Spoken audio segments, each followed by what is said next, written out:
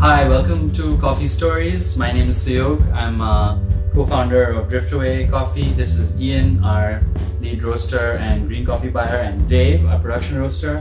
We are tasting our uh, Coffee Month 8 coffees for the month of July and August 2019. And uh, specifically, we're tasting the Balanced Profile Coffee. Uh, very exciting coffee from Colombia that we've been roasting for many, many, many months. Called Colombia Inzá Cauca. Uh, we just brewed a batch on this Kalita brewer uh, and let's have a taste.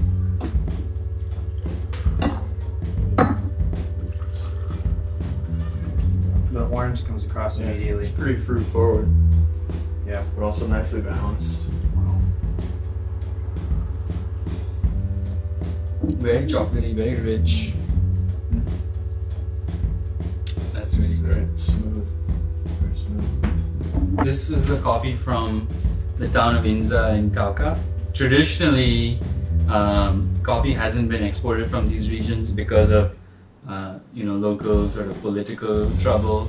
Um, basically, the FARC guerrillas used to control a lot of the region. This a lot of the region in this area, and uh, because of that, coffee was not able to be exported, uh, or if it was exported, it was getting blended with other things.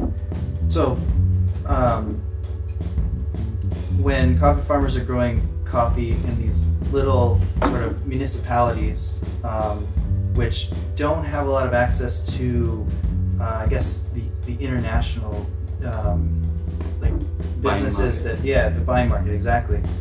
Um, basically, a local buyer will have to come in and um, take the coffee that's being grown there because they don't really have an outlet for it. And someone will take the opportunity to, to come in and, and buy the coffee probably at a pretty good price and then collect it with other coffees from different regions into a really big lot and export it from there You So- don't really know where it's coming from, Right. As a buyer, as a, as a coffee drinker. yeah the, the You don't the- know what else it's mixed with either. Yeah. Right. So the the origin of the coffee, the the the exact origin is obscure. You just kind of get this sort of generic flavor profile and sort of this generic information about the coffee. But in this case, we, you know, a lot of things have turned around with Asorcafe, which is like an organization that was started in 2004 by people with, you know, bit of entrepreneurial spirit to be able to collect uh, their coffees together, get them processed, keep all the traceability and information with them, and share it with the buyers.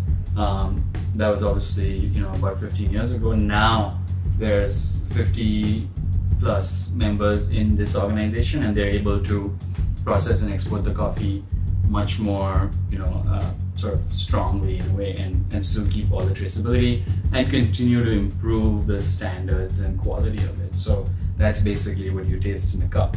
We've actually been roasting this for a while now, right, Dave? Yeah, we've been roasting this since December of 2018. And uh, we started on the 2018 crop and we've moved on to the 2019 crop. But we've been roasting it as an espresso, so it'll be interesting to uh, put it into our balanced profile and have a little bit of a different approach to the bean. Um, yeah, I'm excited to see how that differs from, from our espresso approach.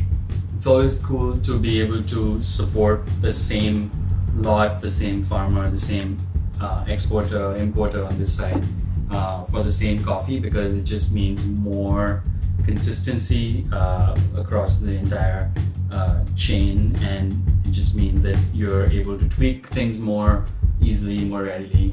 Um, so we're excited about this coffee uh, and bringing it to you guys.